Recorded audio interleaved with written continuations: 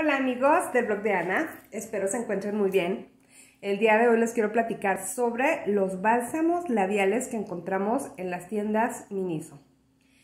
Yo me traje estos tres para probarlos, me encantaron. El de uva y el de durazno son en esta presentación, miren, aquí está la bolsita. Listo. Y este, que es de té de menta, viene en una cajita de plástico duro, en un empaque individual. Bueno, ¿qué les voy a decir? En precio están igual o un poquito más baratos que las marcas comerciales que encontramos en la farmacia, en el súper y en todos lados.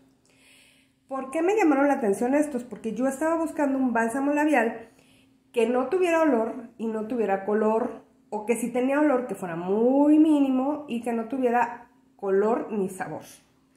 Y la verdad es que estos me cayeron perfectos. Los tres traen un ligero aroma a lo que sea que aquí dice que es. Por ejemplo, durazno, uva y té de menta. Pero ninguno de los tres, miren, son completamente neutros. Ninguno de los tres trae color. Entonces nada más el, el aroma es así como para, pues yo creo que atraer al consumidor, pero pues ni eso, porque pues tú no los hueles antes de comprarlos, ¿no? El de menta es muy curioso porque tú te lo aplicas en los labios y puedes sentir la sensación fresca, muy rico, durante un ratito después de que lo aplicas. Los tres humectan perfecto.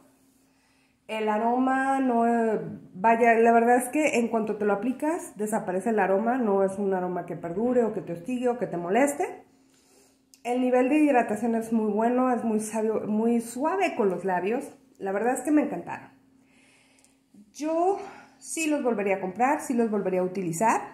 Si están buscando una opción para hidratar sus labios, para suavizarlos, para mantenerlos humectados y que no tenga color, pues estos son una buena opción en el mercado. Yo los conseguí en Miniso.